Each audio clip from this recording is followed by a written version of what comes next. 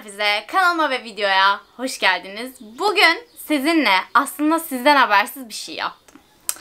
Beni Instagram'dan takip ediyorsanız dün gece e, sizlere bir soru sordum. Bana karantina sürecinde izlenebilecek dizi, filmleri önerir misiniz diye sordum. Hatta postumu şuraya koyuyorum. Daha doğrusu story'me. Ve gerçekten çok tatlı cevaplar geldi. Elimden geldikçe hızlı hızlı benim izlediklerimi ya da izlemek istediklerimi sizinle paylaşmak istiyorum. Bilmediklerimi de bilgisayarımı önüme aldım ki birlikte okuyalım ve iyi miymiş değil miymiş diye hepsine tek tek bakalım. İnanılmaz güzel cevaplar geldi. İzlediklerim var, izlemediklerim, listemde olanlar var. Hiç daha önce duymadıklarım var. Hepsini tek tek sizinle birlikte inceleyeceğiz. E, elimizden geldikçe. Yani umarım çok uzun bir video olmaz. İlk olarak Brooklyn Nine-Nine gelmiş. Yani şimdi Brooklyn Nine-Nine ile ilgili şunu söyleyeceğim. Son videomu izlediyseniz zaten biliyorsunuz ki ben Brooklyn Nine-Nine'in birinci sezonunu bitirdim. Eee küper şeyim düştü. Bu böyle sürekli gidecek sanırım. Böyle tam olarak gülmek istediğiniz, karantina döneminde izlemekten keyif alacağınız dizilerden biri olduğunu düşünüyorum. Eğer bakmak isterseniz Netflix'te sezonları var. Arkadaşlar şunu çıkaracağım. Ya bu olmayacak. Üzgünüm çünkü sürekli düşüp duruyor. Gelelim bir diğer film önerimize. Daha doğrusu 3 film önermiş. The House, Aşk Sarhoşu ve Akıl Defteri. Aşk Sarhoşu ile başlamak istiyorum çünkü Aşk Sarhoşu zaten çok izlediğim ve çok beğendiğim filmlerden bir tanesi.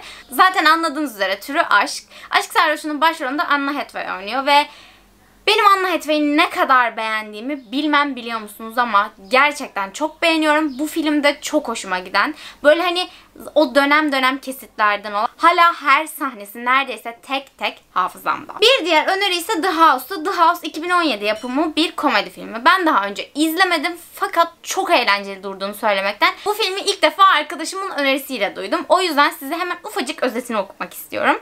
Kızların kolej parasını kaybeden ikili parayı yeniden toparlayabilmek için çılgın bir plan yapıyor ve evlerinin bodrumunda yasa dışı bir kumarhane işletmeye başlıyor. Ancak işler elbette kısa sürede sarpa sarıyor. Kesinlikle listeme ekledim. Siz de eğer izlemek isterseniz bence çok gülünebilecek komedi türlerinden biri olduğunu düşünüyorum ki öneren kişiye çok da güveniyorum. Çok güzel bir film olduğunu. Bir de akıl defterini önermişti. Akıl defterini de ilk defa duydum. Umarım doğru akıl defterinden bahsediyoruzdur. Çünkü benim bahsedeceğim tür gerilim türü. E, 2001 yapımı bir film. Kısaca özetinden hemen bahsedeyim. Akıl defteri kısa süreli hafıza kaybı olan bir adamın karısını öldürenleri bulma çabasını konu ediyor. Wow. Bu arada ilginçmiş. Yani hani şu kısacık bir cümle bile benim izlemem için yeterli geldi. Ve ben bu iki filmi Aşk Sarhoş'unu izlediğimi sayarsak karantina döneminde izleyeceğime gerçekten eminim. Bir tane film önerisi olarak dram olarak kendi hayatımı öneriyorum. Aşk o pandemi dönemi.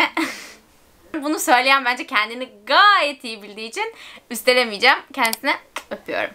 Gelelim bir diğer önerimize. Bir diğer önerimiz ise Outlander. Outlander Netflix'te bulunan bir yapım, bir dizi. E, şu an devam eden bir dizi serisi hatta. 2014'ten beri ekranlarımızda 7 sezondur var olan bir diziymiş.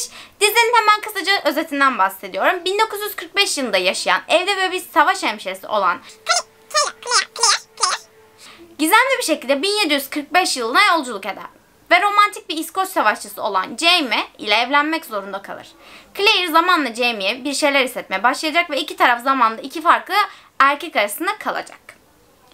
Yani konusu çok iyi ama sezonu birazcık beni korkuttu. Çünkü böyle uzun soluklu ya hani ya sıkılırsam ve ben böyle şeyleri asla yarım bırakmaktan hiç haz almıyorum. Ama bunu öneren kişinin de gerçekten çok severek izlediği kesinlikle ortada. Çünkü kesin izle demiş.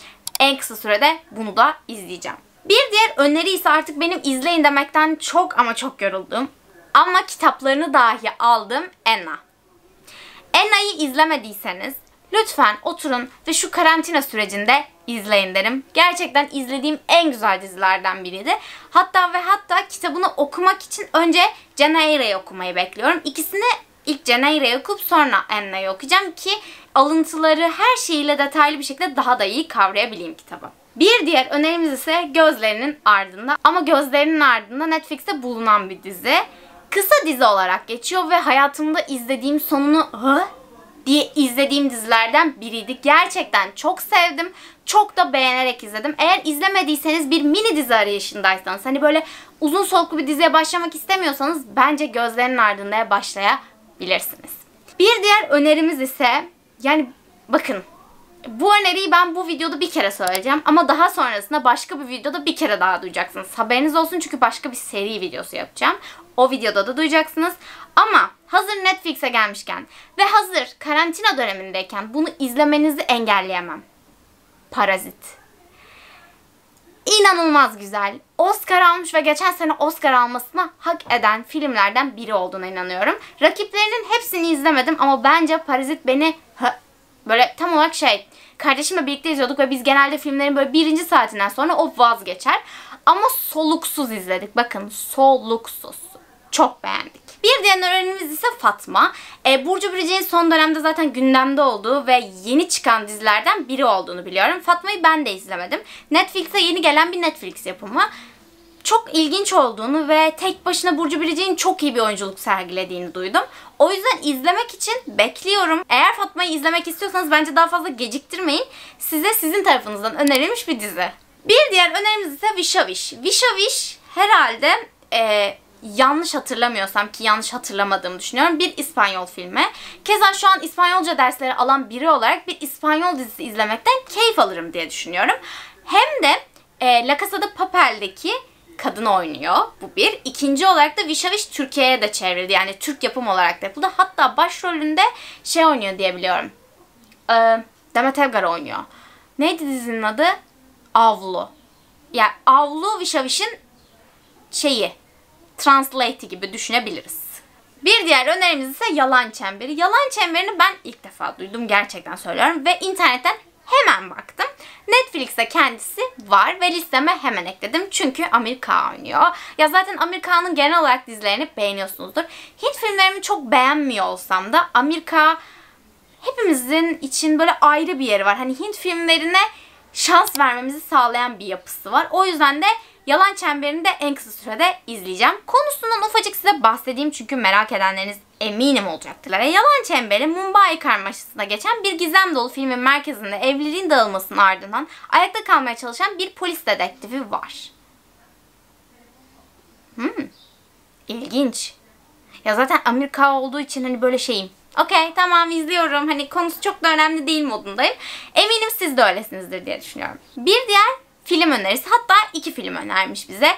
Bir Labirent serisini bir de The Platform. Labirent serisini Darren O'Brien'i sevdiğimden bence izlediğimi anlayabilirsiniz.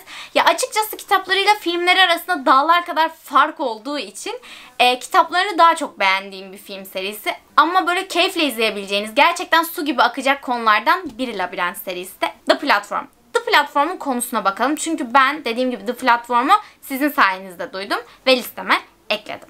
Bir hapishanede üzeri yiyeceklerle kaplı bir platform kat kat aşağı iner. Üst katlardaki mahkumlar doyasıya yerken alttakiler aç ve çaresiz kalır. İsyan kaçınılmazdır. Wow. İlginç bir konusu var. Şey, hani böyle sistemsel bir eleştiri olduğunu da düşünüyorum. O yüzden listeme bunu da ekledim. Bir diğer önerimiz ise Yalan Dünya. Avrupa yakası olsun, Jet Sosyete olsun, yalan dünya olsun. Gürse Bilsel'in kaleminden çıkmış her şeyi seven birileri olarak, hepimiz seven birileri olarak tabii ki de yalan dünyaya bu dönemde eğer izlemediyseniz, eğer Avrupa yakasını da izlemediyseniz bence bu dönemde bakmak için mükemmel bir fırsat. Bazen Avrupa yakasının sadece böyle kısım kısımlarına geliyorum. Ben Avrupa yakasını yayınlanırken küçüktüm. Ama hala böyle kısım kısım izlediğim noktalarda kahkahalarla gülüyorum ve izlemekten keyif alıyorum. Gerçekten çok iyi. Sizin sayenizde bir sürü dizi filmim oldu. Yani hani izleyecek ne var falan diye arıyordum sürekli ve arada bunu yapayım ben. Mantıklıymış. Çok beğendim bu işi. Bir diğer önerimiz ise The Rhine. Ee, The ben bildiğimi zannediyordum ama bilmiyormuşum çünkü kontrol etmek istedim ve kontrol ettiğimde anladım ki bilmiyormuşum. Dry'nin konusu yağmurla bulaşan bir virüs İskandinav nüfusunu kırıp geçirmesinden 6 yıl sonra iki kardeş kurtulan diğer gençlere katılarak güvenli bir yer ve soruları yanıt arar. Dry Netflix'te bulunan 3 sezonluk bir dizi. Ya açıkçası ben böyle şeyleri beğeniyorum. O yüzden Labirenti de böyle şeyleri beğeniyorsanız izlemekten keyif alacaksınızdır. Ben böyle bilim kurgu olsun, fantastik olsun, farklı şeyler olsun. Yeni bir dünya öğrenelim, yeni bir dünya içerisine girelim şeylere bayılıyorum. O yüzden bu diziye de bir şans vereceğim. Çünkü sevebileceğime inandığım dizilerden biri ve tabii ki listeme eklendi. Gelelim bir diğer öneriye Ginny ve Georgia. Ginny ve Georgia'yı ben birkaç ay önce bitirdim ve gerçekten böyle bum diye biten dizilerden biriydi.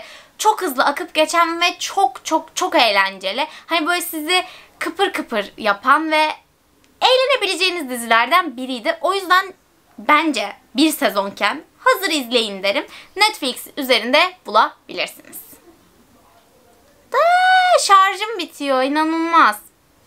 Gelelim bir diğer önerimize Uplight. Ee, yani açıkçası bu dizi Amazon Prime'da bulunuyor. Amazon Prime'da bulunuyor olması bunu gerçekten uzun süredir beklediğim ve merak ettiğim dizilerden biriydi. Görünce hatta çok şaşırdım. Benden başka bilenler de varmış ki zaten. Zaten şöyle ki ilk sezon çıkar çıkmaz ikinci sezon onayı aldı. Öyle bir dizi düşünün yani. Birinci sezonu bulunuyor şu an. ikinci sezonda yolda çekimleri onaylandı.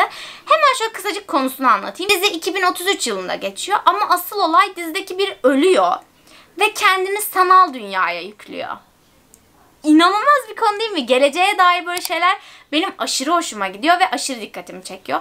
Ne kadar çok aşırı dedim. Lavalla. Umarım yanlış söylemiyorumdur. Bu bir Netflix dizisi. Bu bir İspanyol dizisi en öncelikle. Şu an gerçekten oturup gidip İspanyol dizisi izleyesim geldi. Çünkü İspanyolca dersinden çıktım ve böyle hani o İspanyol aksanı duymak aşırı hoşuma gidiyor. Zaten İspanyolcayı çok beğeniyorum. Lavalla şu an birinci sezonda. Umarım Lavalla diye okunuyordur. Yoksa rezillik. Umarım videoyu beğenmişsinizdir. Sizin önerilerinizi sizlere sundum. Gerçekten çok güzel bir içerik olduğunu düşünüyorum ve siz de videoyu, içeriği beğendiyseniz beğene tıklamayı ve beni hala Instagram'dan takip etmiyorsanız ki gördüğünüz üzere böyle şeyler yapıyoruz. Hem Instagram'dan hem de YouTube'dan takip etmeyi lütfen unutmayın. Gelecek diğer videoda görüşmek üzere. Sizleri çok seviyorum. Yeni geldiyseniz hoş geldiniz diyorum. Başka videoda görüşmek üzere. Bay bay.